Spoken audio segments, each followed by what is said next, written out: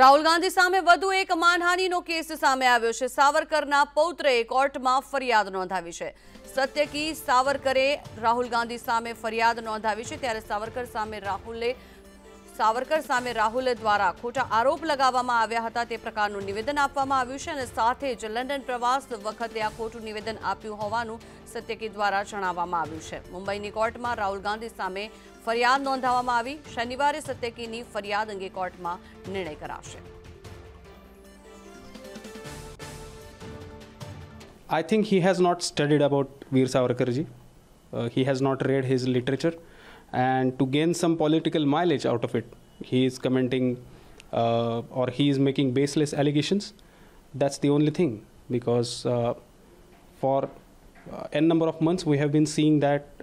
he is commenting like this and there is no evidence at such he is providing. So the allegations are baseless and purely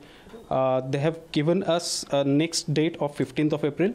Uh, my verification is done, so uh, we need to go uh, to court on 15th of April, and uh, I'll give you the next update on the same day. Uh, the video I am talking about is available on Rahul Gandhi's YouTube channel. We have made a CD of it uh, there is one news cutting about the same thing. So uh, we have submitted enough evidences.